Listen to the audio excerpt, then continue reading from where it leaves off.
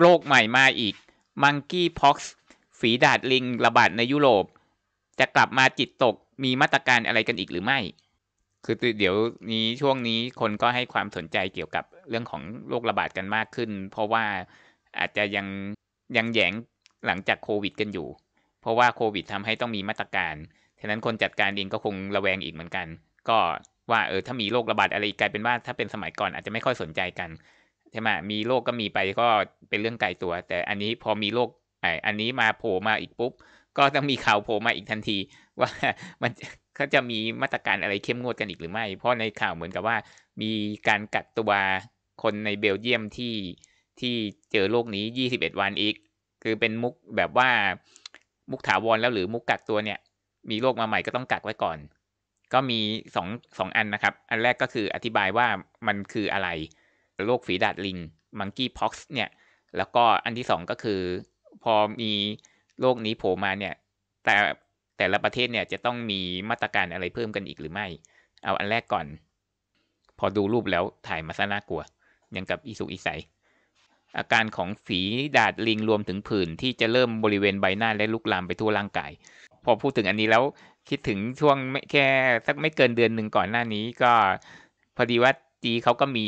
เป็นโรคเกี่ยวกับผิวหนังอันนึง ซึ่งก็ไม่รู้มาจากไหน อาจจะเป็นการแพ้อาหารเออแต่ออฟก็กินเหมือนกันแต่รู้สึกจะมีอยู่อาการอยู่แค่นิดนึง ก็คือเป็นผื่นแดงๆ แล้วก็คันมาก มันก็สลับกันเป็นเลยอะก็คือวันนี้เป็นข้างหลัง แขนขาไม่เป็นวันถัดไปไปเป็นแขนขาข้างหลังไม่เป็นสลับกัน เราก็อยู่ต่างประเทศเนาะเราไม่มียาอะไรแล้วก็ไม่รู้ต้องใช้ยาอะไรก็เลยเอายาหม่องทากันไปจนยาหม่องจะหมดอยู่แล้ว ก็เลยไปวิ่งหาซื้อที่ร้านขายยา ก็เอายาหม่องให้ดู ร้านขายยาบอกว่ายาไปทานนั้นนะอืม เราก็คิดว่าเขาคงไม่รู้จักมั้งพวกยาหม่องอะไรตาเสืออะไรพวกเนี้ยเอออย่าไปทานนั้นนะให้ซื้อของเขาปรากฏว่าไอ้ยาทาตั้งห้าร้อยกว่าบาทที่อิตาลีทาไปนิดเดียวหายเลย ก็เลยแค่ว่าดีนะข่าวนี้ยังยังไม่ได้มาช่วงนั้น ไม่งั้นเดี๋ยวต้องระแวงว่าจะเป็นโรคนี้หรือเปล่า แค่ว่าตอนนั้นคือเสียตังค์ไปปุ๊บดีขึ้นทันที เขาบอกว่าหลายประเทศในยุโรปรวมถึงสหราชอาณาจักร สหรัฐอเมริกา แคนาดา ออสเตรเลียกำลังติดตามการเกิดโรคฝีดาดลิง มังกี้พ็อกซ์ ซึ่งเป็นโรคที่พบไม่บ่อยหรือไม่ค่อยรู้จักมาก่อน อันนี้เริ่มต้นจิตตกทันที อังกฤษบอกว่าผู้ใดก็ตามที่มีความเสี่ยงสูงว่าจะติดเชื้อฝีดาดลิงควร เล่นมุกเดิมก็คือกักตัวนาน 21 วัน ก็สงสัยว่าการกักตัวนี่มันทำให้หายได้เองงั้นหรือ แต่ว่าตามธรรมชาติแล้วเนี่ยโรคไหนที่มันแสดงอาการแบบขนาดเนี้ยก็คงไม่ได้ติดกันง่าย ๆ ยิ่งเป็นผื่นเป็นตุ่มเนี่ยคงไม่ได้ติดกันง่าย ๆ เขาบอกว่าใช้คำแนะนำนี้ใช้กับทุกคนที่มีการสัมผัสโดยตรง ต้องสัมผัสโดยตรง หรืออยู่บ้านเดียวกันกับผู้ที่ได้รับการยืนยันว่าติดเชื้อกลายเป็นว่าจะเป็นวิธีการสามัญว่าเดี๋ยวจะมีโรคระบาดอะไรอีกเดี๋ยวก็กักไว้ก่อน กักไว้ก่อน อังกฤษมีผู้ป่วยได้รับการยืนยันแล้วกว่า 20 คน ก็มีผู้ป่วยที่อื่น ๆ ทั่วยุโรปอย่างกว่า 80 คนแน่ จากเอ่อยุโรปอเมริกา แคนาดา อิสราเอล ออสเตรเลีย ฝีดาดลิงพบมากแค่ไหน เกิดจากไวรัสฝีดาดลิง ซึ่งตระกูลเดียวกันกับโควิด เอ้ยไม่ใช่เกี่ยวกับโรคฝีดาด หรือไข้ทรพิษ แต่มีความรุนแรงน้อยกว่ามาก แล้วก็มีความเสี่ยงในการติดเชื้อต่ำแค่นี้ก็ไม่ต้องกังวลแล้ว แต่แค่รูปมันดูน่ากลัว เอ่อส่วนใหญ่จะพบในพื้นที่ห่างไกลทางตอนกลางและตอนตกของแอฟริกาอีกแล้ว ใกล้บริเวณที่เป็นป่าดิบชื้น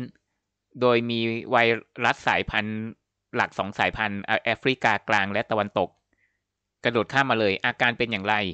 ก็จะแสดงอาการของโรคหลังติดเชื้อประมาณ 12 วัน อาการเบื้องต้นมีไข้หนาวสั่น ปวดหัว เจ็บคอบวม ปวดหลัง ปวดเมื่อย กล้ามเนื้อต่อมน้ำเหลืองโตอ่อนเพลียซึมเศร้า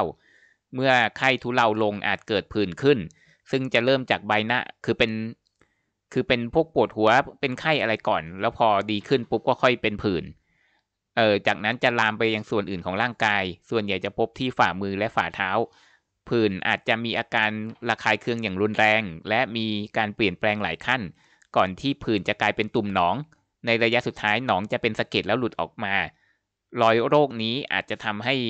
เกิดแผลตามมา คือเหมือนมันพยายามจะออกไปจากตัวก็เลยกลายเป็นตุ่มเป็นอะไรละมั้ง อาการป่วยกินเวลา 2-4 สัปดาห์ ผู้ป่วยส่วนใหญ่จะหายได้เอง เอาเป็นว่าพวกเป็นตุ่มเป็นตุ่มทั้งหลายเนี่ยมันมักจะไม่ร้ายแรง แต่ว่ามันจะลำคาญแล้วมันจะดูสยดสยอง ติดต่อกันได้อย่างไร อาจแพร่กระจายได้เมื่อมีการเข้าใกล้ผู้ติดเชื้อ โดยไวรัสชนิดนี้จะเข้าสู่ร่างกายผ่านทางรอยแตกบนผิวหนัง ระบบทางเดินหายใจหรือผ่านทางตาจมูกหรือปาก พบได้ในสัตว์หลายชนิด โดยเฉพาะสัตว์ตระกูลลิง แล้วก็หนูกระรอกกระต่ายเป็นต้น คนสามารถติดต่อติดโรคนี้จากการสัมผัสโดยตรงกับเลือด สารคัดหลั่งหรือตุ่มหนองของสัตว์ที่ติดเชื้อ หรือการกินเนื้อสัตว์ที่มีเชื้อแต่ปรุงสุกไม่มากพอ การแพร่เชื้อสู่คนอาจจะเกิดจากการสัมผัสใกล้ชิด แต่มีโอกาสน้อยมากในการแพร่เชื้อสู่คน อันตรายแค่ไหน ส่วนใหญ่อาการไม่รุนแรง บางครั้งอาการคล้ายโรคอีสุกอีใสโอ้ นี่เดามั่วเนี่ยเราถูก เออ แล้วหายตอนตอนแรก ๆ พูดไว้ไง เอ้ย มันดูเหมือนอีสุกอีใสและหายเองได้ภายในไม่กี่สัปดาห์ ประชาชนควรกังวลหรือไม่ ผู้เชี่ยวชาญของอังกฤษ บอกว่าสถานการณ์ขณะนี้ยังไม่เข้าสู่จุดที่จะระบาดทั่วประเทศ ประชาชนมีความเสี่ยงที่จะติดเชื้อต่ำแถมโอกาสติดก็ยังต่ำด้วย มีเพียงหนึ่งในห้าสิบคนที่สัมผัสกับผู้ป่วยโรคฝีดาดลิงระยะแรก เท่านั้นที่ติดเชื้อ คือสัมผัสทุกคนก็ติดแค่ห้าสิบคนจะติดแค่คนเดียว แสดงเห็นว่าเชื้อนี้มีการแพร่กระจายน้อย เป็นเรื่องผิดที่คิดว่าเรากำลังใกล้เข้าสู่การระบาดทั่วประเทศ ไทยก็ไม่รอช้ากันเลยทีเดียว ไทยตั้งศูนย์เฝ้าระวังคัดกรอง มีงานทำกันเพิ่มขึ้น แล้วยังมาโยงกับโควิดอีก แม้ไทยจะไม่มีรายงานผู้ป่วยโรคฝีดาดลิง แต่เป็นช่วงที่เริ่มเปิดให้มีการเดินทางเข้าประเทศมากขึ้น และเตรียมเข้าสู่เป็นโรคประจำถิ่นของโควิด -19 อาจมีความเสี่ยงจากผู้ที่เดินทางมาจากพื้นที่ที่มีการระบาด เขาเพิ่งมีกันแค่ 80 คน ในยุโรปอเมริกา ออสเตรเลีย อิสราเอลรวมกัน อังกฤษมีไม่ถึง 20 คน ฉะนั้นมาต่อที่ข่าวนี้ก็คือ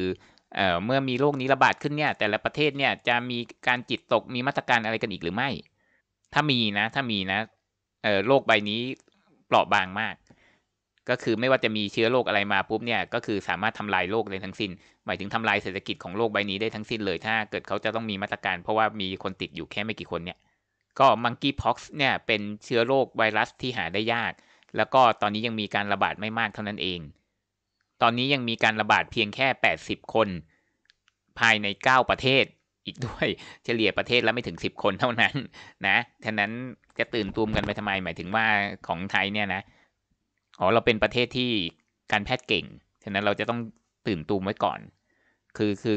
หน่วยงานอะเขาเตรียมอะไรการอะไรเนี่ยเขาต้องทำอยู่แล้วแหละ แต่ว่าการที่มีมีข่าวมีสัมภาษณ์อะไรพวกเนี้ยมันไม่รู้สิไม่ควรให้มีการกลัวอะไรกันมากขึ้น เริ่มต้นจากอนามัยโลกตื่นตูมก่อนเลย บอกว่า เชื้อนี้มันเป็นเชื้อที่ปกติก็ไประบาดอยู่ที่ห่างไกลนะทำไมมาโผล่ในยุโรปได้ยังไง ตื่นตูมก่อนเลยอะทีนี้มาถึงรายประเทศก็คืออย่างUK เนี่ย ตอนนี้มีคนติดเชื้อทั้งหมด 21 ราย ก็ถือว่าเยอะที่สุด เพราะว่าประเทศอื่นเขารวมกันประมาณ 80เอ่อแต่ UK อย่างเดียวฟาดไป 21 คือมีอะไรระบาดทีไรนี้มาโผล่ UK เยอะก่อนตลอด มันเกิดมันเป็นเพราะอะไร อาจจะเป็นเพราะคน UK นี่เดินทางกันเยอะ ก็คือมีการค้นพบรายแรกที่เออสกอตแลนด์นะครับ แล้วก็ทางหน่วยงานสาธารณสุขของ UK เออบอกว่าทุกคนที่ได้สัมผัสโดยตรง หรืออยู่ในครอบครัวของคนที่เจอเชื้อ ควรจะกักตัว 21 วัน งานการไม่ต้องทำกันเลย กลายเป็นว่าจะเหมือนกับโควิดอีก ก็คือไม่ได้กลัวเชื้อโรคนะ กลัวมาตรการ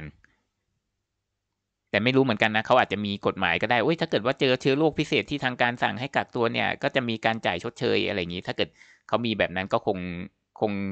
คงไม่ได้ซีเรียสกันเท่าไหร่ แต่ของไทยคงรู้สึกว่าจะไม่มีนะไม่มี หมายถึงว่าไม่มีการชดเชยอะไรให้ ถ้าเกิดว่าต้องกักตัวอะแต่ในนี้ทำไมบอกว่าสเปนประเทศเดียวมีคนติดเชื้อสามสิบสี่คน เอาอีกแล้วคำคำนี้กลับมาอีกแล้ว superspreaderเพราะว่าเจอในสถานที่อบซาวน่าของผู้ใหญ่ในกรุงมาดริดเป็นแหล่ง superspreader แล้วก็เบลเยียม เบลเยียมมีรายงานเจอติดเชื้ออยู่ 4 คนเท่านั้นเอง แต่ว่ากลายเป็นประเทศแรกเลยที่มีการสั่งกักตัวคนที่ติดเชื้อออฝีดาษลิงตรงนี้ 21 วันเช่นเดียวกัน อ๋อแต่ว่าไม่ได้กักผู้เสี่ยงสูงนะ หมายถึงคนที่ไม่ได้ติดเชื้อ แต่ว่าอยู่ใกล้สัมผัสใกล้ชิดกับผู้เสี่ยงสูงเอ้กับคนติดเชื้อเนี่ยเรียกว่าผู้เสี่ยงสูงเนี่ยก็ไม่ได้ถูกสั่งกักตัว แต่ก็ให้สังเกตอาการเอาเป็นว่ามันเป็นสูตรไปแล้ว เป็นสูตรไปแล้ว คนติดโดยตรงกักไว้ก่อน ส่วนคนที่อยู่ใกล้ชิดเนี่ยจะกักหรือไม่กักก็ขึ้นอยู่กับความจิตตกของของหน่วยงานสาธารณสุข โปรตุเกสก็มีรายงานติดเชื้ออยู่ 37 คน ส่วนใหญ่ก็จะเป็น ผู้ผู้ชายวัยรุ่น ส่วนอิตาลีเพิ่งจะเจอแค่4คน เชื่อว่ามาจากคนที่ไป holiday ที่เกาะคานารีแล้วก็เดนมาร์กเดนมาร์กเพิ่งจะเจอแค่คนเดียว แล้วก็บอกว่าเป็นคนที่กลับมาจากทริปทริปที่สเปน